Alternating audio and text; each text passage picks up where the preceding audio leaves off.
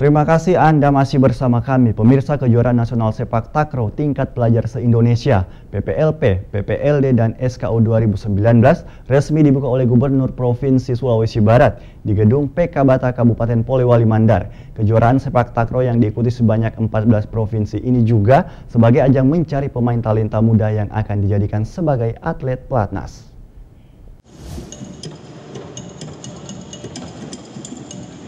Beginilah pembukaan kejurnas dalam olahraga sepak takraw yang digelar di Kabupaten Polewali Mandar.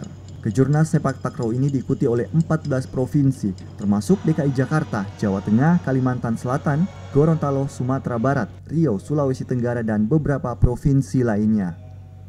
Pembukaan yang digelar di gedung gabungan dinas-dinas ini sendiri dihadiri ratusan peserta dan Bupati Polewali Mandar, serta Kepala Dinas Pariwisata, Pemuda, dan Olahraga.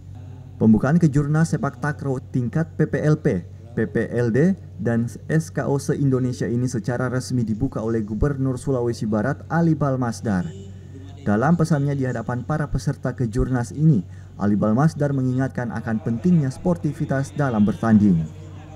Selain memberikan semangat kepada pemain muda tuan rumah, Ali Balmasdar juga berharap dalam kejuaraan nasional ini Kabupaten Polewali Mandar diharapkan bisa masuk tiga besar atau setidaknya bisa meraih medali perak.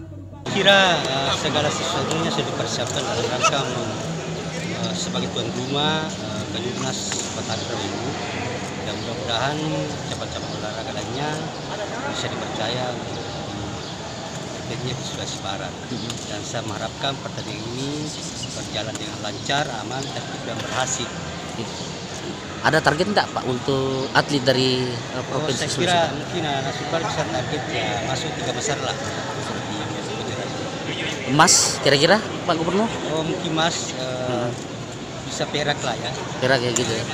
Sementara itu peserta dari tim DKI Jakarta optimis bisa meraih setidaknya medali emas dalam kejuaraan sepak takraw ini. Kita latihan kayak fisik, hmm. teknik, sama mental yang penting gitu. Ini ada ada berapa uh, ini uh, atlet yang dari sana ini? Dari dari DKI kita ngirim ada 8 orang. 8 orang. Iya, main double sama double event sama regu.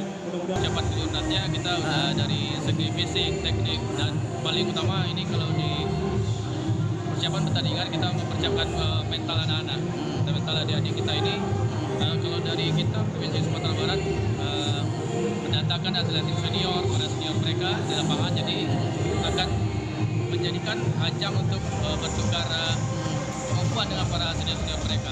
Rencananya pertandingan akan dilaksanakan di gedung gabungan dinas-dinas dimulai sejak pagi hingga malam hari selama lima hari lamanya dari tanggal 9 hingga 13 April mendatang. Dari Polewali Mandar, Huser Sainal melaporkan.